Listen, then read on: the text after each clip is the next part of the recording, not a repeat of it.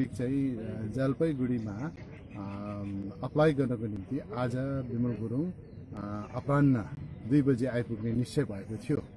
अनि उहाँहरू एयरपोर्ट पनि पुगिसकेको थियो। अनि यहाँबाट उहाँको समर्थकहरू हाम्रो पार्टी समर्थकहरू पनि उहाँलाई स्वागत गर्नको लागि गइसकेको थिए। तर यहाँनिर एउटा ठुलो चालबाजी भएकोले गर्दाखेरि एउटा उहाँलाई नै खतरा हुने भएकोले गर्दाखेरि अनि यहाँ कुनै दङ्गबाजी र एउटा असुविस्ता बनाएर चाहिँ फेरि पनि चौधवटा मेजर केसेसहरूलाई जो स्टे लागेको छ त्यसलाई पनि भङ्ग गर्ने जुन अपोजिसनहरूको षड्यन्त्र देखेको कारणले गर्दाखेरि आज उहाँ आउन सक्नु भएन उहाँले क्यान्सल गर्नुभयो।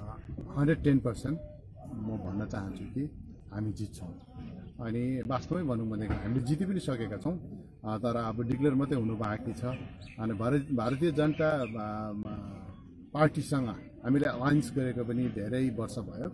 दस वर्ष करिबन दस वर्ष भइसक्यो। अनि हामीले देख्यौँ देशमा एउटा नरेन्द्र मोदी एनर्जेटिक प्रधानमन्त्री भएकोले गर्दाखेरि कमिङ अब यो भइरहेको इलेक्सनमा पनि उहाँले निश्चय नै सरकार गठन गर्नेछ।